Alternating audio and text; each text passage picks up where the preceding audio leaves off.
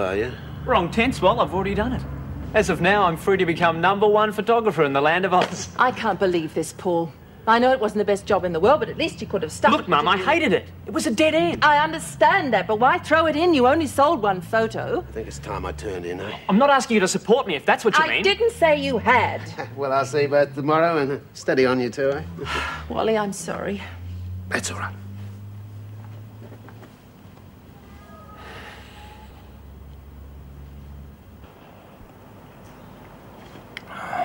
Oh, no, no, no more. I'll, I'll drown.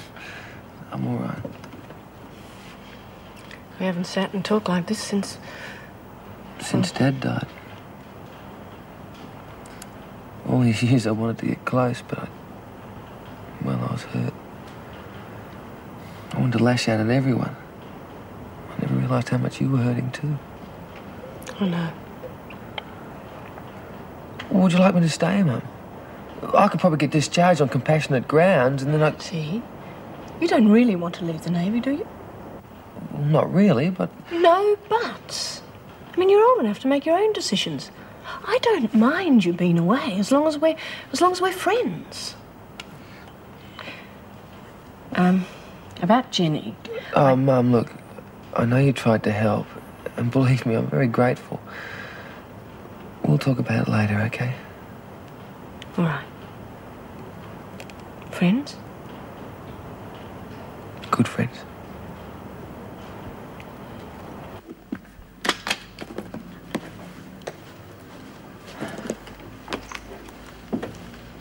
Would you like a cuppa or something?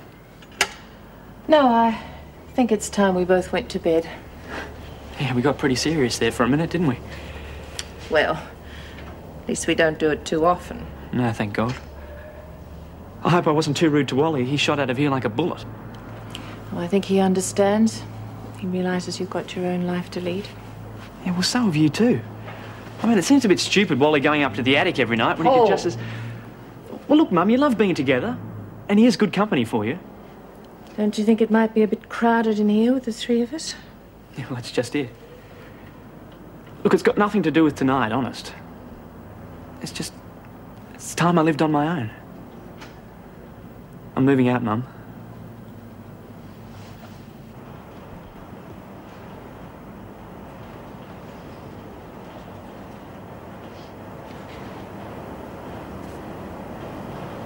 Now, now, dear. You mustn't cry. Bugger off, will you? Please. I didn't mean to be hard on you, Bobby, and I wasn't trying to mother you, truly. Yeah. Well, you couldn't have done a worse job than me mum did anyway. She was never out of the TAB long enough to know where I was. What about your father? Him. He was too pissed to care. I nicked off when I was 13, and they never even came looking for me. So don't give me that crap about respecting your elders. But you must have had somebody, Bobby. Everyone has somebody. You reckon? Where have you been living? Under a rock? I was on the streets when I was 13. And when I couldn't sell myself, I made a few bucks posing for skin pics. It was mostly soft porn stuff. You Poor child. Didn't you have any friends you could turn to? I had mates, sure. Five of them OD'd last year. Sparky. She was 15. I reckon she wanted to die. She seemed real happy to go anyway. Sometimes I wish I could too. But you can't cark it on grass. And I never really got into smack. You're all right now, dear. Come on. You settle down, close your eyes, have a rest. You're real good at this sort of stuff, aren't you? You must have had a few kids of your own.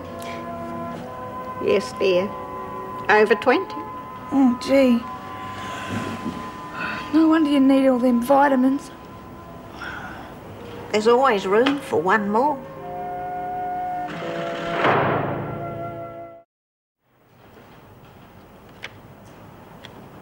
Good morning. How are Dr. and Mrs. Collins this morning? Great, just great. Sorry we couldn't provide you with a proper honeymoon suite. Oh, that's all right. Uh, we're grateful for any time at all. Aren't we, darling? Hey, come on. Remember what we said? I know. I suppose I better get back to work now. Well, there is one thing. It's your engagement ring.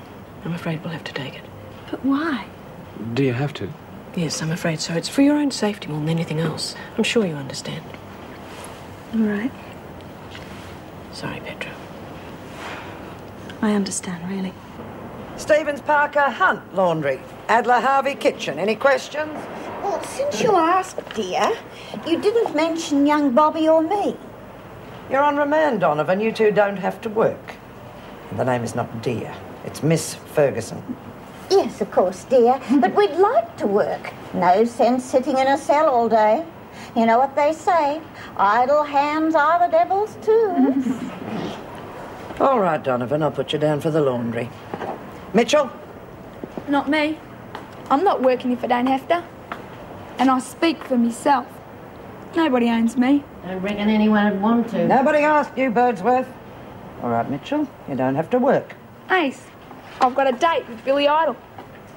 Billy who? Has she got a fella in there? No, dear. I think he's an entertainer or something. hey, look who's back. Well, Roberts. Finally decided to grace us with your presence, did you? You're in the laundry. Yes, Miss Ferguson. Looks a bit tired, doesn't she? I don't think she looks well. I reckon she should be under the dock. What again? Hey, that's enough. Now get to work or I'll put the lot of you on a charge. Stevens. What's the problem? No problem. But keep your eyes and ears open. Apparently, our sweet little granny is a friend of the governor, and that could mean trouble.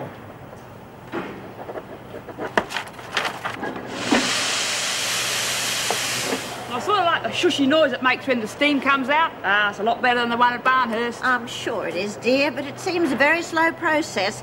Don't you think so, Lizzie? Me?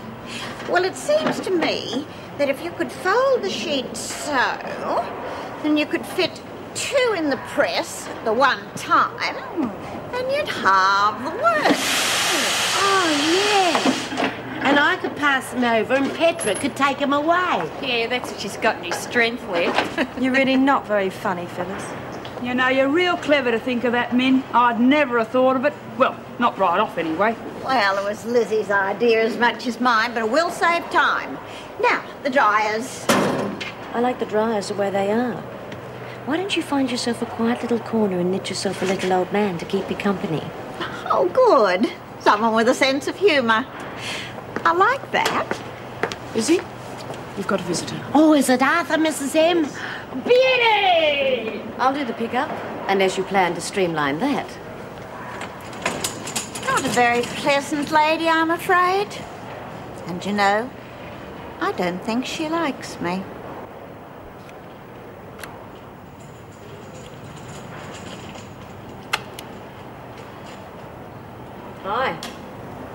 If you need any batteries for that, let me know. Oh, yeah? And how come you're so helpful all of a sudden? Well, I thought things might be a little strange for you. Round here, you've got to be pretty careful how you pick your friends. Maybe.